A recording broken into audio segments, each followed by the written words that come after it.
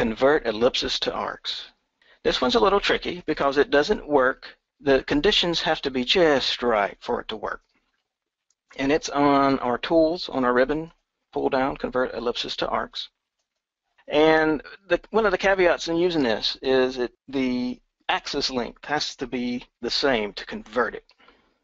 So I have an example here of like a curb return or a, bullet nose on, on a traffic separator. If I select it, you can see on the command line one found. Just hit enter. And it turns it from this, which is an ellipse, it looks like a circle, to just a regular arc. Now the situations where it will not work is where I have this, like on this traffic arrow, to me that looks like an ellipse, to everybody else it does too, but I cannot convert that to an arc using this little tool because the axis plane is not the same